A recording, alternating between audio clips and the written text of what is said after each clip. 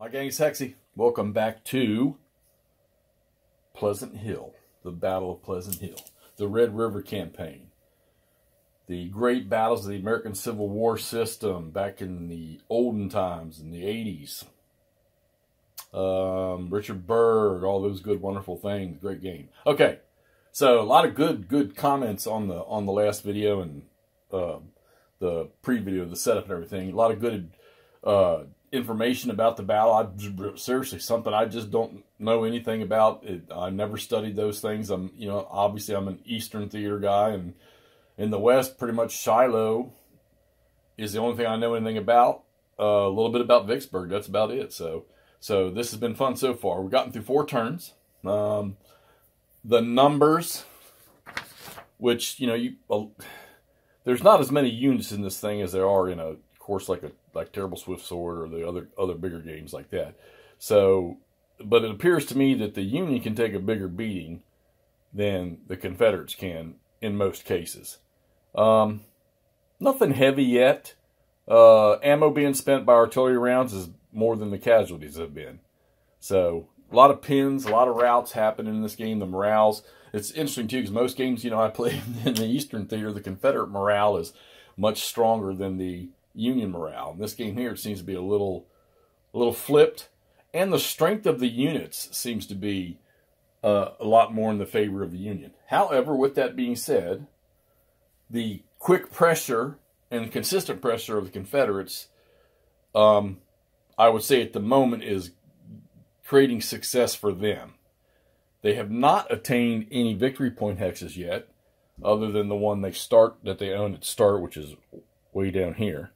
So, but they're they're pushing. They're close. They're within four and four hexes and two hexes of two other ones. Okay, so it opened up with um, Churchill smacking into the the I guess this is going to be the southwest corner of Pleasant Hill, uh, western corner of Pleasant Hill, and he drove the Union troops out of the the gully right here, and he's up on the slope. But these guys have recovered. Not only have they recovered, this brigade here, uh, McMillan, he got activated because the Confederates got too close. And Shaw, Shaw's troops got chased away, but they've they've sort of recovered too and bounced back up in here. But they lost the crew of this gun, so that gun's been abandoned, and the Confederates, you know, they'll they'll move first on this next turn, so they'll they'll overtake that gun. But then um, Dwight's brigade over here, which is a large brigade, they activated and just punished the Confederate left over there, which is where uh, Major's Independent Brigade is. Right? Not, they might have three regiments in that brigade. I think. See, one, two. Yeah, they got three regiments in that brigade. So that well, I wasn't expecting much. They were just over there. I probably shouldn't even have brought them into the fight. I should have just sort of left them over here as security. Over here on the Confederate right, um, Bagby's brigade. They keep going back and forth over here with Lynch. Uh, Lynch is the much stronger force, so he's pretty much winning that fight. Now, the way it looks, there's a massive Confederates in here, but most of these units are four strength and down. Matter of fact, most of them are probably three strength units and down, 300 men and down. And these Union brigades sitting back here eventually are going to get going. So the Confederates really, really, really need to wreck this left side over here. I, I might have taken a different approach to this and not been so aggressive right off the. I, I don't know yet. I, I, need to see what happens over the next couple turns, but if this doesn't go the way my intention was with the Confederates, and it does go the way of my defensive intention for the Union, I may have want to flip this strategy the next time I would play this game and see if I couldn't focus down that left side first. Because while they had two brigades sitting here and one waiting to be activated here, the threat of all of this was not there.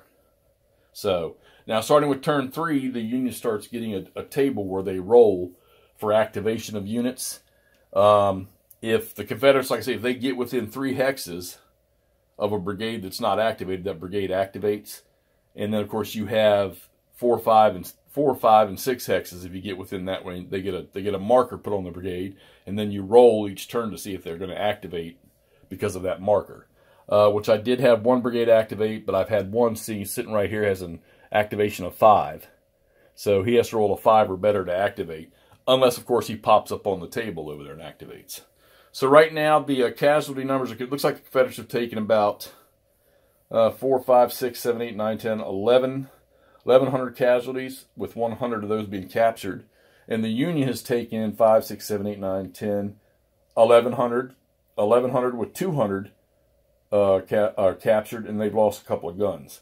So I don't think the Confederates can trade punches. I don't think the Confederates were ever able to trade punches in any battle during the American Civil War. So, but if they can, if they're trading punches and they can take these objectives, that's fine.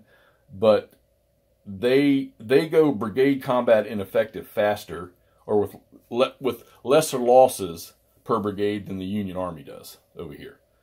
Um, so yeah, so we're moving right along. Gameplay's really, really easy. If you got one of these old things like that, like Stonewall's a great one to start with if you got that. Dig it out and play it. You could you could probably play Stonewall in one sitting. All right. This one here you probably could too if you just sat here and did it. Because I know when I play, I played two turns today, maybe an hour.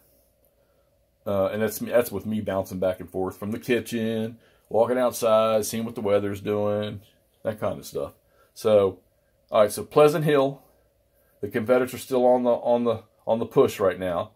Union brigades are starting to activate. They just picked up two new activations on this last turn. And if the Confederates push any farther, they're going to pick up another one. Um, rolling on the activation table, I rolled the two turns the, uh, the Union rolled on turn three and four. The activation was for Benedict's brigade, who was already activated, so no game there.